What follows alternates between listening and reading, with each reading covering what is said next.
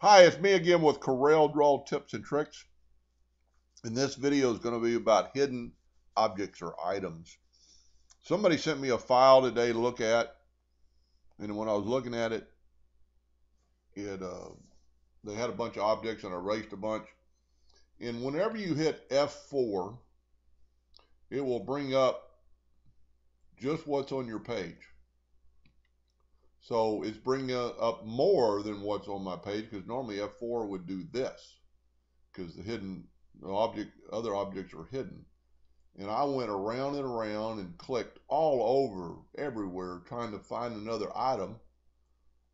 But I kept, kept, kept hitting F4 and it would only, and I couldn't quite figure out what was going on.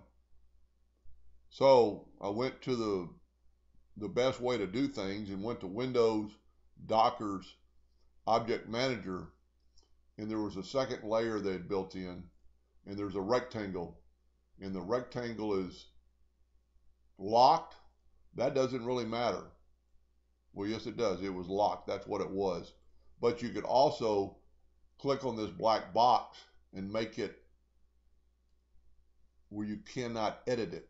So when you select on the two, that's what it was. It wasn't locked. It was he had it marked uneditable.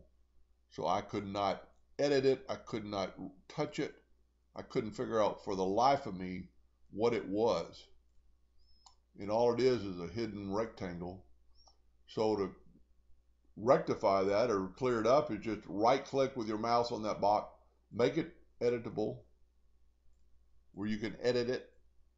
And there it is right there. It shows up and then you could go and select it and you can delete it. Now when you hit F4, only your object that you want.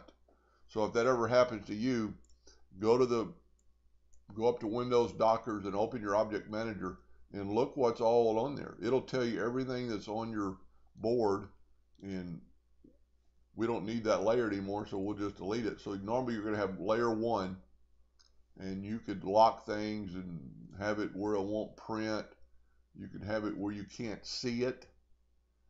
Uh, but anyway, so if you ever had a have a hidden object, go to Windows and Dockers and Object Manager and take a look. Hope that helped a little bit. Thank you for watching.